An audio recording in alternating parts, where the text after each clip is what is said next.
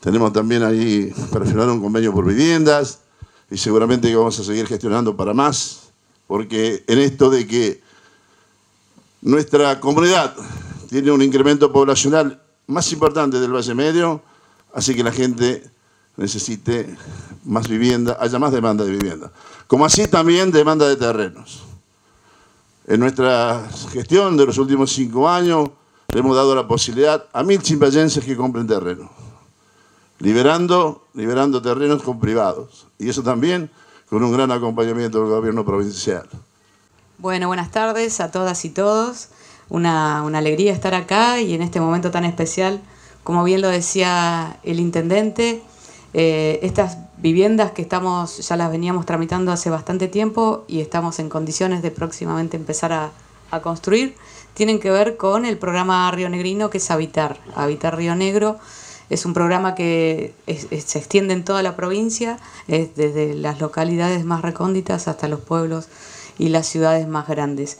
Tiene como objetivo llegar a las familias más necesitadas, a las que tienen más dificultades de llegar a, su vivienda. ¿no?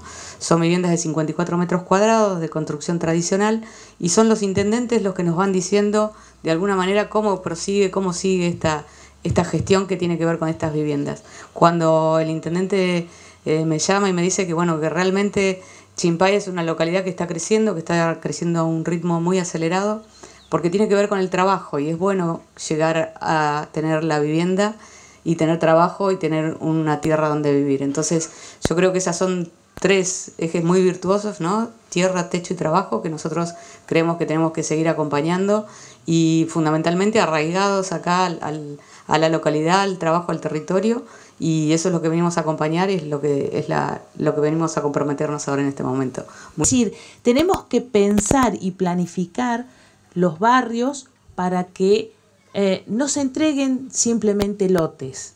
Tenemos que entregar lotes con servicios para que realmente esos lotes sean habitables y no tengamos un mal vivir durante muchísimos años hasta que llegan los servicios. Bueno, esta tarea se hace solamente en conjunto, con los vecinos, con la organización vecinal, con aportantes como eh, eh, los empresarios que se comprometen con el desarrollo de la localidad, por supuesto con los intendentes y su equipo, Juana Catino y el intendente Hugo Funes son grandes gestores de Chimpay. Por eso muchas veces hablamos de que nos vimos, nos encontramos. Es imposible decirles que no.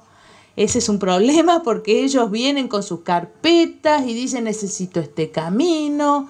¿Y vos qué vas a decir? Bueno, lo vamos a trabajar, ¿no es cierto? Como hoy que vamos a anunciar el tramo siguiente, ¿no es cierto? Porque esto es en tres tramos